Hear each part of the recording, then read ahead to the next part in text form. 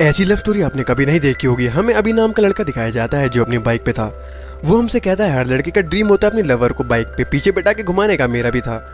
और scene shift होता है। अभी की गर्लफ्रेंड से फ़ोन करती है और कहती है, आज मेरी फ़र्स्ट नाइट है। मेरे हस्बैंड के साथ वो उदास होकर बताती है। वो अभी से प्यार करती थी।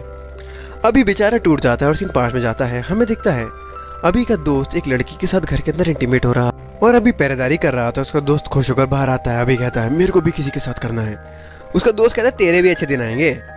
और सीन शिफ्ट होता है। अभी मधु नाम की लड़की को देखता है, वो उसे अट्रैक्ट होता है। वो अपने दोस्त को बताता है, उसका दोस्त कहता है, अभी ये तेरी पड़ोस में रहने वाली मधु है।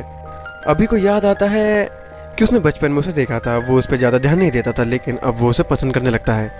वो बार बार उससे मिलने के बहाने ढूंढता है, मधु उसे नोटिस करती है। अभी उसे देख के हमेशा स्माइल करता है, मधु उससे पूछती है, अभी कहता है? तुम्हें देख के मेरा मन खुश हो जाता है। मधु भी अट्रैक्टेड थी। धीरे धीरे वो दोनों क्लोज आते हैं, एक साथ टाइम स्पेंड करते हैं। मधु पूछती है, तुम्हें मेरे में क्या अभी कहता है, तुम्हारी बैग और मधु अपनी बैग दिखाती है। वो दोनों का रिलेशन इतना आगे बढ़ जाता है, जिस घर में अभी का दोस्त इंटीमेट छोटा था, वहाँ अभी और मधु जाते हैं। और अभी भी अपना फ़र्स्ट एक्सपीरियंस बताता है। दोनों एक साथ काफ़ी खुश थे। एक दिन अभी देखता है, मधु को कुछ लड़के छेड़ रहे थे और मधु बच के जा रही थी। अभी कहता है, तुमने उसे जवाब क्यों नहीं दिया? ऐसे उनकी हिम्मत बढ़ती है। एक थप्पड़ मारती ना मधु कहती है, मैं डर गई। अभी कहता है डर उन्हें लगना चाहिए तुम्हें छेड़ने में, तुम्हें नहीं। और अगर कुछ होता तो मैं देख लेता ना। लेकिन तुम्हें एक्शन लेना चाहिए था। वो नाराज़ होकर जाता है। वो मधु से बात भी नहीं करता। एक दिन मधु को अभी का दोस्त दिखता है। मधु अभी कहाँ है पूछती है। अभी का दोस्त कहता है, वही सेम जगह पे? और बाद में मधु कि दोस्त अभी को देखती है और हैरान होती है और अभी का दोस्त मधु को उसी जगह पे ले जाता है। जहाँ वो लड़कियों के साथ इंटीमेट होता था, वो मधु के साथ ज़बरदस्ती करने लगता है। मधु रोकने की कोशिश करती है, तभी अभी वहाँ आता है। वो अपने दोस्त को मारता है और उसका दोस्त कहता है इसमें क्या बड़ी बात है? वैसे भी कैजुअल था ना तुम्हारा? अभी कहता, नहीं, मैं मधु से प्यार करता हूँ। और वो उससे दोस्ती खत्म करता और अभी मन में कहता है, पहले मैंने स्टार्ट मज़े के लिए किया था, लेकिन अब मैं सच में मधु से प्यार करता हूँ। मुझे बहुत गुस्सा आया था जब मुझे पता चला मधु के साथ गलत हो रहा था। बाद में मधु और अभी वापस क्लोज आते हैं, मधु। अपने बर्थडे पे अभी के कॉल का इंतज़ार कर रही थी, लेकिन अभी कॉल नहीं करता। बाद में वो पूछती है, तुमने विश क्यों नहीं किया? अभी कहता है, कोई बड़ी चीज़ नहीं है, अगले साल कर दूँगा। और अभी हर साल मधु को विश नहीं करता था। ऐसे ही चार साल हो जाते हैं। मधु के दोस्त गुस्से में कहती है, तुम उसे विश क्यों नहीं करते बर्थडे पे? उसे बुरा लगता है। अभी कहता है, मधु का बर्थडे मेरे लिए बहुत स्पेशल है, इतना कि मैं दो वर्ड्स में बता नहीं सकता। बाद में अभी की जॉब लगती है वाइजैग में, लेकिन तभी वो दोनों एक दूसरे से बहुत बातें करते थे। अभी अपने बॉस से कहता उसका ट्रांसफ़र ऑस्ट्रेलिया में कराने के लिए ऑस्ट्रेलिया में काम करना उसका ड्रीम था। अब अभी की जॉब लग गई थी, वो अपनी माँ को बताता है मधु के बारे में। उसकी माँ हैरान होती है, उसके पापा सुन लेते हुए कहते हैं तुम्हारी शादी कभी नहीं होगी। मान लो हम मान भी जाए तो मधु के पापा कभी नहीं मानेंगे। अभी कहता है, मैं उन्हें मनाऊँगा। और वो हिम्मत करके मधु के पापा के पास जाता है। वो बड़ी हिम्मत से मधु का हाथ माँगता है। मधु के पापा सुनते हैं, उसे यहाँ से जाने के लिए कहते हैं। अभी नहीं जाता, वो कहता है, मेरे जाने से कुछ भी ठीक नहीं होगा। मधु के पापा कहते हैं तो बैठे रहो। और वो एक आदमी को फ़ोन करते हैं और कहते हैं, कल मधु को देखने आ जाओ, रिश्ता पक्का ही समझो। अभी मना करता रह जाता है, मधु के पापा नहीं सुनते और अभी को भगा देते हैं। अभी बहुत उदास होता है मधु, अपने पापा को कहती है, मैं भी उससे प्यार करती हूँ। मधु के पापा कहते हैं, अगर तुम्हारी इससे शादी हो गई तो मैं अपनी जाति वाले को क्या मुँह दिखाऊँगा? हम दोनों बराबर नहीं है, वो अपनी बेटी को जान से मारने की धमकी देते हैं, मधु उदास होती है।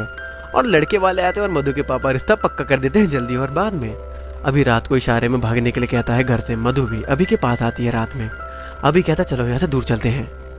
मधु कहती नहीं, हम नहीं जा सकते। और सीन पास में जाता है। मधु के पापा, मधु के पापा से बात कर रहे थे और कह रहे थे, अभी को मरवा देंगे। ज़्यादा से ज़्यादा दस साल की जेल होगी, लेकिन अगर मधु अभी के साथ भाग गई तो मैं ज़िंदगी भर समाज में मुँह नहीं दिखा पाऊँगा। और सीन प्रेजेंट में आता है, मधु कहती है, अगर मैंने शादी से मना किया तो पापा मुझे मार देंगे। अगर तुम्हारे साथ गई तो पापा तुम्हें मरवा देंगे। हमारे पास सिर्फ़ एक ही रास्ता है। अभी कहता है, क्या? मधु कहती है, हम शादी के बाद ऐसे ही रहेंगे जैसे अभी है। अभी उसे थप्पड़ मारता और कहता है, ये तुम क्या कह रही हो? छी! मधु कहती है हाँ और कोई रास्ता नहीं है। मैं तुम्हारे बिना खुश नहीं रह सकती और मुझे पता है, तुम भी मेरे बिना नहीं जी सकते। और मधु, अभी को मनाई लेती है और अगर आपको मूवी पसंद आ रही हो तो चैनल को सब्सक्राइब करें और वीडियो को लाइक ज़रूर करें। और मधु की शादी होती है और उसका पति उसके साथ इंटीमेट होता है। और जैसे उसका पति बाहर जाता है, मधु अभी के पास जाती है, अभी नॉर्मल एक्ट करने की कोशिश करता है, लेकिन उससे होता नहीं है। वो ये सब नहीं झेल पा रहा था, वो मधु को कहता है, अब हमारे बीच कुछ भी सेम नहीं है, चली जाओ वापस, कभी मत आना यहाँ पे। मधु जा रही थी, अभी रोकता और कहता है, क्या तुम मुझे सच में छोड़ के चली जाओगी? मधु कहती नहीं, मैं तुमसे कभी नाराज़ नहीं हो सकती। और दोनों एक साथ बहुत टाइम स्पेंड करते और ऐसे ही मधु डेली अभी के पास आते थे जब भी उसे टाइम मिलता था। वो दोनों एक साथ रहते थे, अभी मधु को कहता है, प्लीज़, कभी मुझे बता के मत जा, क्योंकि मैं तुम्हें जाता नहीं देख पाऊँगा। और ऐसे ही मधु हमेशा बिना बताए जाती थी उसके पास। मधु की दोस्त आती है अभी के पास और कहती है, ये क्या चल रहा है? अब वो किसी की वाइफ है। अभी कहता है, मुझे पता है ये गलत है, लेकिन हालात गलतियाँ करवा देती है। मधु की दोस्त कहती है, लोग क्या कहेंगे? अभी कहता है, समाज की वजह से ये सब हुआ है। मधु के पापा ने, समाज की वजह से मधु की शादी करवाई है, हमारे पास और कोई रास्ता नहीं है, हम दोनों एक दूसरे के बिना नहीं रह सकते। मधु के पति को पता नहीं था। वो मधु की बहुत केयर करता था, मधु की माँ को भी पता था, लेकिन वो कुछ नहीं कर सकती थी। और एक दिन मधु और अभी बीच पे बैठे थे, अभी बताता है, बॉस उससे इंप्रेस है। और मधु को बार बार उसके हस्बैंड का कॉल आ रहा था छोटी छोटी चीज़ों के लिए भी। और मधु को बात करनी पड़ रही थी, अभी को गुस्सा आता है। वो कहता है, तुम आराम से बात कर लो, मैं वफादार कुत्ते की तरह तुम्हारा इंतज़ार करता हूँ। और वो गुस्से में जाता है, लेकिन वो वापस उसके पास आता है और सॉरी कहता है। मधु को उस पर गुस्सा नहीं आता है, क्योंकि वो अभी को समझ रही थी। बाद में अभी को ऑस्ट्रेलिया में ट्रांसफ़र मिलता है, क्योंकि वो बहुत अच्छे से काम कर रहा था। अभी खुश होकर मधु को फ़ोन करता है। मधु अपने पति के सामने थी, इसलिए वो फ़ोन कट करती है बार बार और अभी बार बार फ़ोन करे जा रहा था, मधु नहीं उठाती। अभी को बहुत बुरा लगता है, बाद में मधु मैसेज करती है, मैंने मना किया था ना, फ़ोन मत करना, क्या हुआ? अभी कहता है कुछ नहीं, मधु। उसे फ़ोन करती है। अभी गुस्से में बताता तो फ़ौरन जाने का ऑफ़र आया था। मधु उसके लिए खुश होती है। लेकिन अभी खुश नहीं था, वो कहता है, मैंने खुशी में तुम्हें फ़ोन किया था, लेकिन तुमने उठाया ही नहीं। मधु कहती है, क्या मैं अपने पति को तुम्हें अपना फ्रेंड बता के मिलाऊं अभी कहता, तुम्हें लगता है कोई पति इस चीज़ के लिए मानेगा? और वैसे भी पहले तुमने शादी किया फ्रेंड तुम धीरे धीरे मेरे से पीछे छुड़ाना चाहती हो क्या? मधु कहती है, ऐसा नहीं है। अभी कहता है, तुमने मेरी लाइफ बर्बाद कर दी है। कुछ भी पहले की तरह नहीं है। ऐसा कब तक चलेगा? मधु कहती है, तुम जानते हो ना, कोई लड़की ऐसा फैसला नहीं ले सकती, मैंने तुम्हारे लिए लिया है। अभी कहता है, इससे अच्छा तो हम अलग हो जाते वो कुछ दिन का ही टॉर्चर होता लेकिन मैं तो डेली तड़प रहा हूँ। मधु का पति आता है, मधु फ़ोन काटने वाली थी, अभी गुस्से में था, वो कहता है, बात आगे बढ़ जाएगी, फ़ोन मत काटना। मधु काट देती अभी को और गुस्सा आता है बाद में मधु का पति उसके साथ इंटीमेट होता है। मधु बहुत उदास थी। बाद में वो रात को अभी को मैसेज करती है, तुम ऐसा क्यों कर रहे हो? मैं तुम्हारे बिना नहीं जी सकती। अभी कहता है, मैं जी लूँगा। मधु कहती है, नहीं जी पाओगे।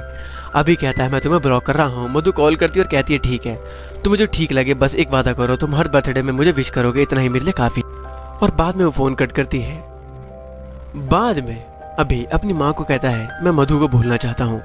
उसकी माँ उसके लिए लड़की ढूंढती है, लड़की उससे पूछती है, क्या मैं तुम्हें पसंद हूँ? अभी मना करता और ऐसी वो हर लड़की को रिजेक्ट करता है। उसे मधु की याद आ रही थी, इसलिए वो अपने फ़ोन से सारी मधु की फ़ोटो डिलीट करता है और नंबर भी। और वो कॉल गर्ल से बात करता है, लेकिन तब भी वो मधु को भूल नहीं पा रहा था। उसे हर टाइम मधु की याद आ रही थी। और अभी की माँ कहती है, ऐसे काम नहीं चलेगा। कम से कम हमारे लिए ही शादी कर लो। अभी लड़की देखने जाता है, लड़की कहती है, वो किसी और से प्यार करती है, इसलिए प्लीज़ रिश्ता रिजेक्ट कर दो। वो बताती है, उसके पापा ज़बरदस्ती शादी करवा रहे हैं। और बाद में उस लड़की के पापा अपनी बेटी की बहुत तारीफ़ करते हैं, अभी उदास होकर कहता है, समाज की ज़्यादा मत सोचिए, वरना आप अकेले रह जाएँगे बाद में अभी को। मधु को देखने का बहुत मन करता है, वो अपने दोस्त से मधु की बचपन की फ़ोटो माँगता है देखने के लिए। अभी फ़ौरन जाने के लिए भी अपने बॉस को मना कर देता है, मधु की दोस्त भी वही काम करती थी। वो अभी पे गुस्सा करती है, बाद में मधु की दोस्त मधु को बताती है और मधु को उल्टी आती है। वो अभी को फ़ोन करती है और मिलने बुलाती है और कहती है, तुमने बर्थडे पे विश नहीं किया? अभी कुछ नहीं कहता, बाद में वो कहता है, मैं तुम्हारे से बात करने के लिए तरस गया था। मधु रोते हुए कहती है, अब हम नहीं मिल सकते, मैं प्रेग्नेंट हूँ। अभी नॉर्मल होने की कोशिश करता है, लेकिन वो रोने वाला था। मधु कहती है, मुझे नहीं पता था तुम्हारी ये हालत हो जाएगी। मुझे तुम्हें देख के डर लग रहा है। हमें शादी के बाद ही बातचीत खत्म कर लेनी चाहिए। तुम मेरी वजह से अपना सपना पूरे करने नहीं जा रहे। मुझे लग रहा है मेरा ही कसूर है, मेरी ही गलती इसलिए अब सब यही खत्म। फाइनल गुड बाय मुझे पता है तुम मेरे बिना नहीं जी सकते, लेकिन मैं तुम्हें ऐसे नहीं देख सकती। अभी कुछ नहीं कह पाता, वो उसे छोड़ता था अभी कुछ गुंडे मधु को छेड़ने लगते हैं, अभी गुंडों को मारने लगता है। गुंडे मधु को थप्पड़ मारते हैं, मधु बेहोश होती है, गुंडा भागता है। अभी जल्दी मधु को हॉस्पिटल ले जाता है, मधु का पति और मधु की दोस्त आती है। मधु की दोस्त कहती है, ये मेरा दोस्त है, ये मधु को लाया है। मधु का पति थैंक यू कहता है और जैसे ही मधु को होश आता है, मधु का पति उसे मिलने जाता है। अभी भी मिलना चाहता था, लेकिन वो नहीं मिल पाता। उसकी आँख में आँसू आते हैं, वो कहता है, मैं ऑस्ट्रेलिया जाने के लिए तैयार हूँ। और मधु भी, और दोनों उदास थे। अभी जाता है मधु उससे लास्ट बार पूछा था कि तुम मेरे से मिलोगे लास्ट बार? अभी ने कहा था, अगर मैं तुमसे मिलने आया तो मैं तुमसे दूर नहीं जा पाऊँगा। कुछ दिन बाद मधु की दोस्त पर उसका बहुत गुस्सा करता है और कहता है, अभी ऑस्ट्रेलिया नहीं गया, कहाँ है वो? मधु के दोस्त को याद आता अभी ने एक चाबी दी थी। मधु के दोस्त उस रूम में जाती है जहाँ एक लैपटॉप था और उसमें अभी की एक वीडियो थी। अभी कहता है, मुझे पता है, तुम ये वीडियो ज़रूर देखोगी तो तुम्हें ये पता चले गया होगा कि मैं ऑस्ट्रेलिया नहीं गया, क्योंकि मैं मधु के बिना नहीं जी सकता, इसलिए मैं अपनी जान दे रहा हूँ। मधु की दोस्त होने लगती है। अभी कहता, रो मत मेरे लिए, ये भी आसान नहीं था। मैं चाहता हूँ मधु हमेशा मेरी रहे। मैं उसे किसी का होते हुए नहीं देख सकता और हाँ प्लीज़ ये बात मधु को मत बताना। और मेरे बदले मधु को हर साल बर्थडे विश मैसेज कर देना, प्लीज़, यही मेरी आखिरी इच्छा है। और बाद में जब ये बात अभी के पेरेंट्स को पता चलती है, वो बहुत उदास होते हैं और मधु की दोस्त मधु के पेरेंट्स को भी बताती है। और मधु के पापा शौक होते हैं और मधु की दोस्त मधु को ना बताने के लिए कहती है। और मधु के बर्थडे पर उसे एक लेटर आता है जिसमें अभी ने लिखा था वो अगले साल उसे विश करेगा और ये मूवी यहीं पे खत्म हो जाती है। अगर आपको और किसी मूवी की एक्सप्लेनेशन चाहिए तो आप हमें कमेंट करके ज़रूर बता सकते हैं।